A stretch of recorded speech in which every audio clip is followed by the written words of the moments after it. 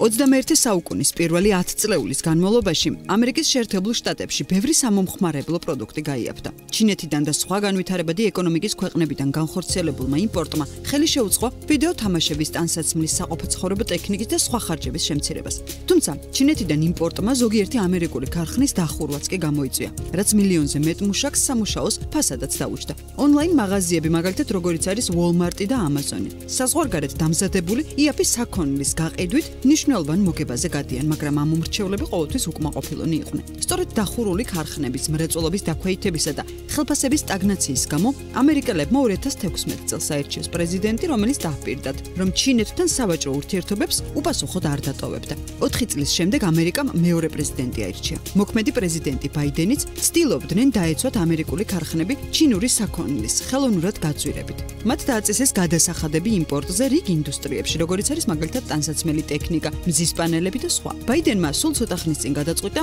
შეენარჩუნებინა და გაეფართოვებინა ტრამპის დაწესებული ტარიფები, რაც აშკარად მეანიშნებს ჩინეთთან ღია ვაჭრობის ეპოქის დასასრულზე. ამის ნათელი მაგალითია ჩინურ ელექტრომობილებზე 100%-იანი გადასახადი. დემოკრატები და რესპუბლიკელები მხარს უჭერდნენ ჩინეთთან ვაჭრობას და თვლიდნენ, რომ ეს სარგებელს მოუტანდა ამერიკის ეკონომიკას. ამერიკელმა ეკონომისტებმა კი იცოდნენ, რომ ზოგიერთი ამერიკელი მუშა დაკარგავდა სამუშაოს, მაგრამ მათ ეგონათ, რომ თლიანი ეკონომიკა სარგებელს მოუტანდა იაფის საქონლით და მეტი ინვესტიციით მაღალი ღირებულების ინდუსტრიებში. ახლა კი ორივე მხარე უფრო რთულ პოზიციას იკავებს ჩინეთის მიმართ. ისინი შეშფოთებულები არიან ჩინეთის შრომითი პრაქტიკით, ინტელექტუალური საკუთრების ქურდობით და ქარხნების სუბსიდიებით. გაურკვეველია რა ახალი სავაჭრო პოლიტიკა შემუშავდება მომავალში. ბაიდენი მხარს უჭერს სტრატეგიულ ინდუსტრიულ პოლიტიკას, ხოლო ტრამპი მხარს უჭერს უფრო თავშეკავებულ შიდა ეკონომიკას. ასევე გაურკვეველი არის მოითმენენ თუ არა ამერიკელები უფრო მაღალ ფასებს, რაც შეიძლება მოყვეს ამ ცვლილებებს განსაკუთრებით ბოლოდროინდელი ინფლაციის ზრდის შემდეგ. მაგალითად, ტრამპს სურს მნიშვნელოვნად შეზღუდოს ვაჭრობა ჩინეთთან, გაზარდოს ტარიფები ყველა ჩინურ იმპორტზე და აკრძალოს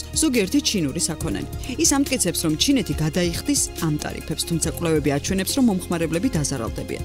ტრამპის ყოფილი სავაჭრო წარმომადგენელი რობერტ ლაითჰაიზერი თვლის, რომ თუ უფრო მაღალი სამომხმარებლო ფასები მეტი სამუშაო ადგილისთვის ნამდვილად ხირს.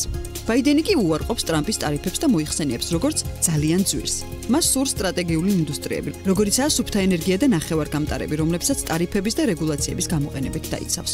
ბაიდენი ასევე უზრუნველყოფს მნიშვნელოვან სახელმწიფო სუბსიდიებს სწორედ ამ სექტორებისთვის. ზოგიერთი ეკონომისტი ასევე მხარს უჭერს ნაკლებად შეზღუდულ ვაჭრობას ჩინეთთან. აკრიტიკებს როგორც ბაიდენის, ასევე ტრამპის გეგმებს. მათ მიაჩნიათ, რომ ეს პოლიტიკა აუცილებლად შეანელებს ეკონომიკურ ზრდას და გაზრდის ფასებს ამერიკელი მომხმარებლებისათვის. შესაბამისად, ამერიკელი პრეზიდენტების წინასაარჩევნო დაპირებების მიუხედავად, The Economist Times-ი წერს, რომ ამერიკის შეერთებული შტატების პრეზიდენტის ტარიფები იაფი ჩინური საქონლის ეპოქის დასასრულია.